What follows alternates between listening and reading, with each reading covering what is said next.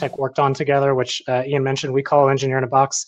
It's a very different type of solution you can put into your toolbox. And I do want to clarify, uh, we're not really presenting this as the end-all be-all solution that you should be buying right now, but it is something that's a little bit different that I think you should be aware of. And again, keep in your toolbox. So first, let's define the target audience and who it's meant to help. So this solution is specifically meant to help those that are working on the plant floor. So either maintenance to deal with surprise issues, uh, service providers that need access for an engineering project or your commission commissioning staff, or OEMs that need access to machines to support them and provide warranty. Um, second, let's look at uh, how this usually works today. So as Ian mentioned, typically remote support uh, gets in through the uh, gets into the industrial network through the business network, um, and they can come through the business network, uh, connect to a server running some programming software on it, and then that programming software will then have access to the device uh, that needs to be reached. And that's basically what the blue line is showing on the graphic. And there's nothing inherently wrong with this. Uh, Grantek uses setups like this, uh, and we install them all the time. Um, of course, it's not the perfect solution for all situations, and uh, most people know this. So what are the situations where it's not as helpful as it could be? So for example, um, the process you need to go through with IT can be a little bit cumbersome. Um, it's really understandable. IT has to manage a lot under their purview um, and keep it secure. And to do so, they need processes uh, to do that. But it can be slower than OT would need in certain situations when something urgent arises or a change needs to be made.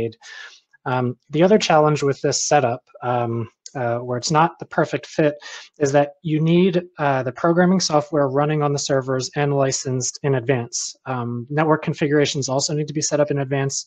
Server usernames and passwords need to be linked up, and doing all of that usually takes some sort of an internal project and budget um, to do. So it's not a simple endeavor. Uh, basically, there's nothing wrong with this. It works. You're probably still going to be using this in some places. Um, but the, the big thing that it's lacking is flexibility. So what we came up with is a way um, to help with those type of staff members in those type of uh, uh, flexible situations. So uh, next I'll talk about what Engineer in a Box actually is, and it's simple enough. It's a hardware appliance that those on the plant floor can use to connect remote support staff to the network or devices directly. It looks like the image on the screen. It needs power and an internet connection to run, and that's essentially it. Um, it can get that internet connection either through the plant's Wi-Fi or an LTE connection. Um, if neither of those work, it can also get internet through the plant's LAN, but Wi-Fi and LTE is honestly simpler. Um, and there is no configuration that is done by on-site staff. Essentially, uh, if you were to purchase one, theoretically, Grantek pre-configures it and ships it to the facility so uh, its backend connections work automatically as soon as it's powered up. Um, Grantek can even remotely change the box's IP address through that automatically established remote connection. So next, let me describe how it would actually work and what that would look like. Um, essentially, a maintenance or project team member can uh, basically carry the engineer in a box around with them and connect it directly into whatever they're having an issue with, sort of like Ian's ideal model uh, intro slides. Um, they can connect it directly into the device or into a nearby switch, and then from their perspective, that's all that they need to do, and now the remote support person uh, can reach what they need to. Um, they can now sort of securely, quote unquote, bypass IT's uh, business systems. In the back end, the appliance is using the LTE or Wi-Fi connection to connect to the Dispel secure environment that Ian went over um, using the secure technology um, mentioned, the moving target defense. Um, so for some users, this would be enough. Um, they no longer need to go through the IT process to get a user added and establish a new connection to a device, which is a huge benefit. However, for other customers, uh, you can get uh, some additional and uh, value out of it um, a great unique part of this solution is that you can actually migrate those programming applications into uh, Dispel's cloud environment. And this brings uh, a ton of additional benefits. So for example, you no longer need to maintain those servers on site. Updating and patching them is easier. If you need to establish a new vendor or a connection to a new device, this can be done quickly by the OT staff themselves without, uh, with IT oversight as, uh, of course, but without needing as much direct IT involvement.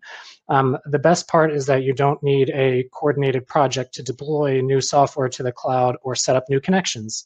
Um, so remember how I mentioned earlier that typical setups work, but they're lacking flexibility. This sort of gives that flexibility while maintaining security and even adding some additional benefits. Um, and if you go through the ROI calculation that Ian laid out, um, it also saves a ton of money over time. Now, the last thing I'll touch on is scalability. Um, rearranging the slide a bit, I'll show you what it would look like to scale out the solution. And essentially, it looks exactly the same at the second facility. Um, the second facility would have another engineer in a box, which would connect to the same secure environment with the same programming servers available. Um, and this is also uh, a big benefit. So organizations have been looking for a way to leverage the cloud and reduce computing resources. And this platform sort of gives you a way to do so easily, plus it gives you the remote access. Um, so it would mean you don't need individual facilities to maintain and license the same software over and over. Um, a server image can be set up once and then reused for to service as many facilities as you need it to be accessed from. Um, because Engineer in a Box is portable, you can also ship them to remote locations for commissioning when it's needed. So it could be shipped to a remote location for commissioning. Those same programming servers are able to reach it. Somebody could be remotely commissioning and then it can be shipped back when you no longer need it. Um, so the ROI calculation works in your favor for one deployment, but it also compounds when you factor in sharing server resources between facilities and remote locations, travel cost savings, downtime reduction, relief from IT timelines and labor, and so on. It all becomes larger as you scale up. Um,